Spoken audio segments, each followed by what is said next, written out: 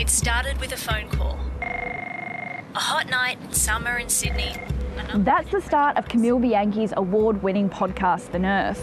And this is the story behind the call that exposed James Jeffrey Griffin, a pedophile who worked in a children's hospital ward. We all had suspicions about other children. Our complaints were never taken seriously. Launceston General Hospital nurse Will Gordon made a complaint about nurse James Jeffrey Griffin six years ago. He says Griffin had been discussing what boys like with a group of vulnerable young girls. The complaint went nowhere. Griffin took his life in 2019 after being charged with child sex offences. But Mr. Gordon wanted the public to know that a pedophile had gone undetected on a children's ward for almost two decades. The hospital thought otherwise. We were essentially told to shut up, work, don't talk about it, don't even think about it. Mr. Gordon reached out to the Integrity Commission, who referred it back to the Secretary of the Department the Health Minister was sent a letter. She replied saying the case shouldn't be made public. There was one final avenue his old housemate, a journalist called Camille. He described something that sounded too odd to be true, um, and certainly something that I couldn't believe didn't have attention or coverage already. The more Ms. Bianchi looked, the more she found eight months after that call, in October 2020, she dropped her first episode. Would I investigate the nurse? The impact was immediate. The way I saw it was, it was, it was a rally cry in Tasmania. Dozens and dozens of disclosures every day of um, people who told me that they were victim survivors themselves and of the perpetrator I named, but also others.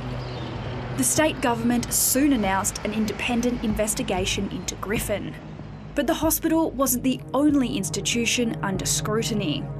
While Ms. Bianchi and others were working on the podcast, local journalists were breaking stories about abuse in other government run institutions. Finally, the truth has been heard. Then the Greens dropped another bombshell.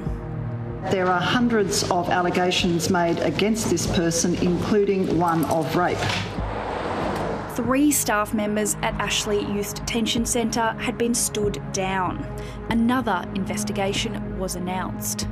Altogether, that's three separate inquiries across three separate departments. The calls for a large scale inquiry grew louder. Then it happened. As more allegations of historical child sexual abuse by Tasmanian government employees emerge, the Premier has answered calls for a commission of inquiry. The Commission of Inquiry into government responses to child sexual abuse in institutions would examine the Ashley Youth Detention Centre, schools, foster care, and of course, the Launceston General Hospital. Almost three years later, more than 100 people have been referred to police or child protection authorities. Its final report is eight volumes, three and a half thousand pages, and contains 75 findings and 191 recommendations for change. On one hand, it's abysmal, but on the other, it fills me with hope because that's 191 things that we can fix. But as one chapter closes, in many ways, the journey is just beginning. The thing that I am still staggered by is the tenacity and the endurance of some of these people to carry that load. They've made Tassie safer, and it is now time for the institutions to do their job. Grace Tame opened a door in this state for people to speak up. We saw Tiffany Skeggs and Killian McMahon kick it open. We can't throw that away because in the end, it could be your child that's the recommendation safe.